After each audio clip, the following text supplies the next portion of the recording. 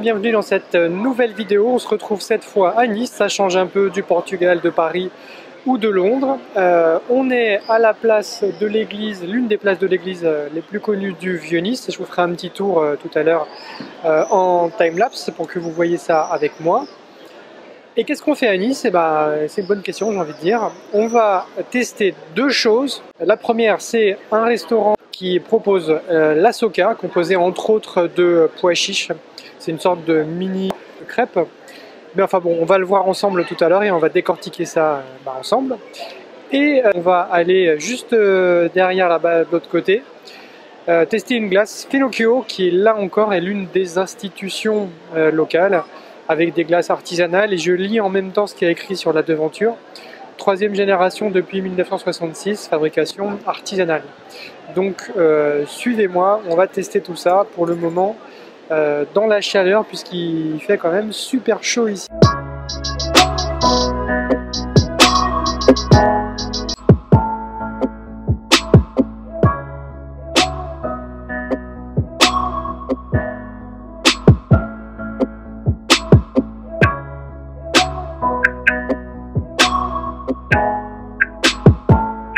On se retrouve devant chez euh, Lupila Leva qui est un resto juste derrière moi, spécialisé entre autres dans la soca, la fleur de courgette. Euh, c'est l'une des institutions euh, spécialisées du coup dans la soca à Nice. C'est pas l'établissement le plus ancien, mais il existe quand même depuis une trentaine d'années, donc c'est quand même à, souligner. Ah bon voilà, on a passé la commande, on en a eu pour une vingtaine d'euros à peu près avec les boissons et tout ce qu'on a pris.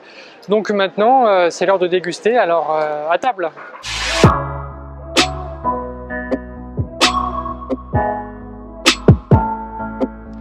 On a connu des cadres plus désagréables, donc on a récupéré notre commande. Euh, on est parti à quelques pas du euh, Vieux-Nice et du cours Saléa puisqu'on est directement euh, sur la plage et on va déguster donc la soca, la pissaladière, la tourte à la blette qu'on a acheté, la fleur de courgette qui est frite.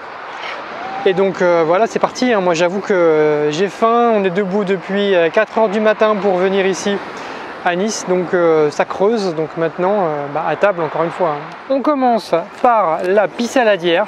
Donc la pissaladière, alors si jamais à l'endroit c'est encore mieux, hein, j'avoue.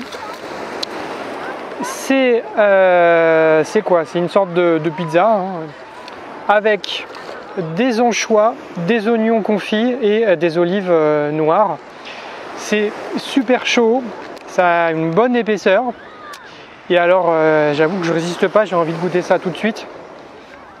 Et j'en ai l'eau à la bouche en plus, euh, mine de rien, donc et euh, eh bah, et eh bah, et eh bah, on y va. Hein.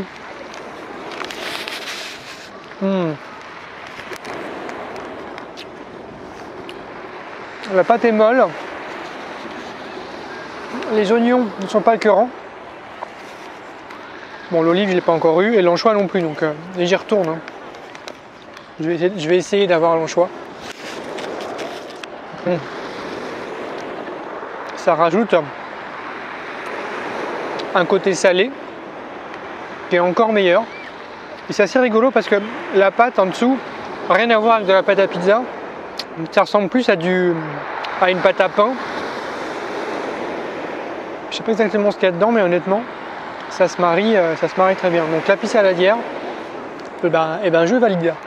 La pissaladière, c'est terminé. Maintenant, on passe à la soca. En même temps, j'ai googlé, j'ai regardé sur le net pour pour pas dire de bêtises, hein, j'avoue. On a de la farine de pois chiche, on a de l'huile d'olive, de l'eau, du sel et du poivre. Ils nous ont demandé si on voulait du poivre, ça veut dire qu'on n'est pas forcément obligé d'en avoir. Là, on, voit qu'on en a. Donc c'est hyper euh, consistant hein, quand même. Donc effectivement, ça ressemble plutôt à une crêpe qu'à une pizza, hein, contrairement à ce que j'ai dit tout à l'heure. Euh, et, a priori, hein, c'est l'une des valeurs sûres. Moi, je l'avais déjà mangé, j'en avais déjà mangé avant.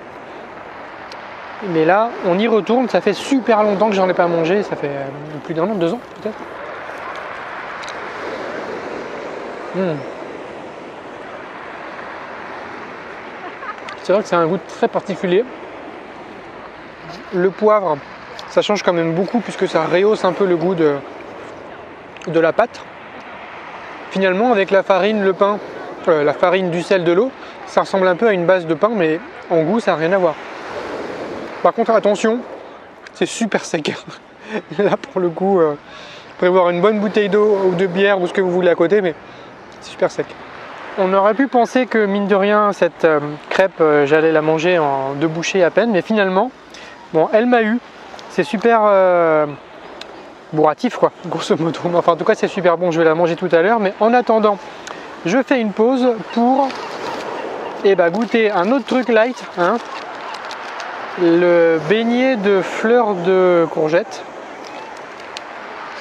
on voit que là encore, hein, c'est super, euh, super healthy, hein, évidemment, ou pas. Euh, et, je vais goûter parce que là, pour le coup, j'en ai déjà mangé il y a quelques temps aussi, mais je me rappelle plus du tout du coup.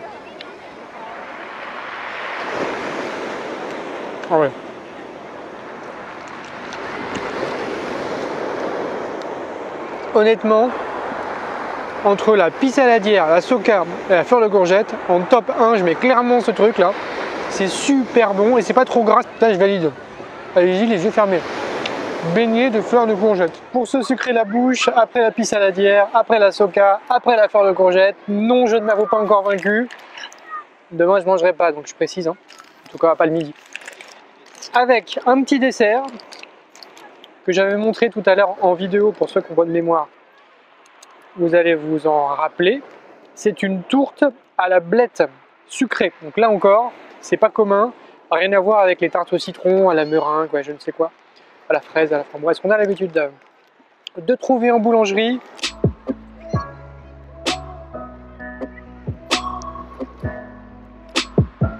Il y a des pignons à l'intérieur.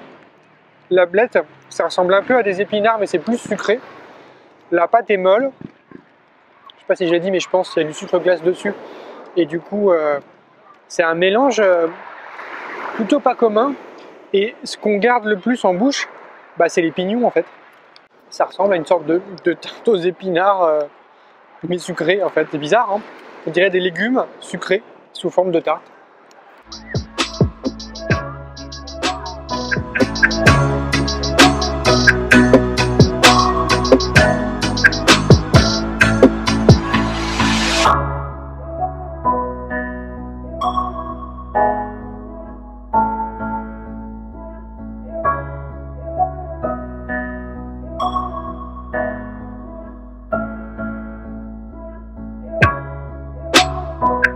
Voici de retour chez Fenocchio avec une glace de boule et euh, son petit cornet servi à côté. Donc on a à gauche une glace stracciatella, à droite une glace cookie. Ça c'est pour le round 1. Et le round 2, on a euh, à gauche caramel beurre salé, à droite euh, fleur de lait amande, fleur plus amande. Donc les deux toujours de chez Finocchio, glace artisanale, etc., etc., etc. Bon, trêve de blabla, on va goûter tout ça. Bilan, pas de suspense. Hein. La glace au caramel beurre salé, c'est un vrai régal. Et la glace à la fleur de lait d'amande, elle est super bonne, elle est onctueuse. Ça change vraiment des goûts de glace qu'on a l'habitude d'avoir. Et voilà, c'est une bonne surprise euh, à tenter euh, pour ceux qui veulent changer des éternelles glaces euh, vanille ou chocolat ou caramel classique. Une valeur sûre donc, ce Finocchio. Et là, je vois que la glace euh, cookie stracciatella fond comme neige au soleil, donc a priori, c'est très bon signe aussi. Au final, euh, au niveau prix, on s'en est sorti pour 22 euh, euros dans le premier resto spécialisé dans la soca, 10 euros chez Finocchio, donc juste derrière, on a pris deux boules chacun, donc deux fois deux boules. Voilà, ce ne sont pas des prix qui sont forcément donnés, mais honnêtement, que ce soit chez Fenocchio, on sentait vraiment l'onctuosité dans la glace, en tout cas le fait que ce ne sont pas des glaces industrielles et ça, ça fait plaisir. Pareil du côté du premier euh, resto aussi, j'avoue qu'on s'est fait plaisir avec ce qu'on a pris, la tarte à la blette, euh, la pisse saladière, la soca, la fleur de courgette, enfin bref, on a quand même très très très bien mangé ce soir. Donc ce sont deux valeurs sûres euh, à Nice que je vous recommande vivement. Je vous dis à très bientôt. N'oubliez pas, le principe de la chaîne pour ceux qui nous rejoignent, d'ailleurs euh, bienvenue à vous, c'est une vidéo par semaine euh, dans tout ce qui touche à la nourriture, que ce soit des choses que je fais moi ou des choses qu'on partage ensemble. En attendant, bah, je vous dis à très bientôt. Salut